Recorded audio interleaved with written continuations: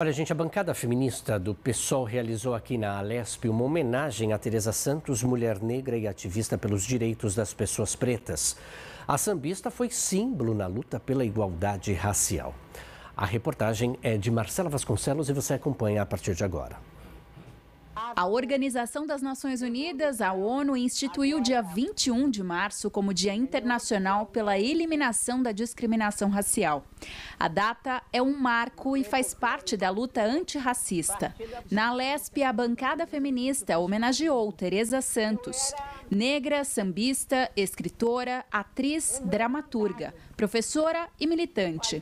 A deputada Leci Brandão, do PCdoB, participou do evento e destacou a emoção em ver a artista relembrada no Parlamento Paulista. Uma mulher simples, uma mulher guerreira que foi expulsa, foi, tudo aconteceu com Teresa, né? Foi expulsa de Angola, participou de muitas, muitas e muitas e muitas lutas e acima de tudo, nunca negou de dar a, a sua, o seu conhecimento, a sua sabedoria para as outras pessoas. Ela sempre ensinou todo mundo, sempre mostrou o caminho qual era.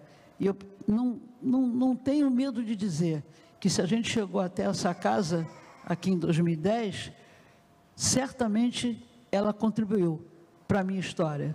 E por isso que eu não poderia deixar de, de estar aqui né, e para agradecer porque é uma mulher que não pode nunca é, ser esquecida. A atividade parlamentar recebeu ainda a participação da diretora do documentário que retrata a vida de Teresa. Ela diz, é, quase que no final da vida, é trágico ser negro no Brasil, principalmente se tiver consciência. O segredo para não desistir é acreditar que é possível construir um país melhor.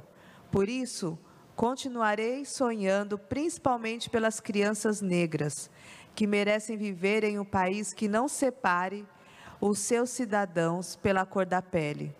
Acredito que meu caminho e meus sonhos não foram em vão, e por isso continuarei em busca da liberdade, como o trecho do poema Protesto, de Carlos Assunção, que uso como guia para a minha vida.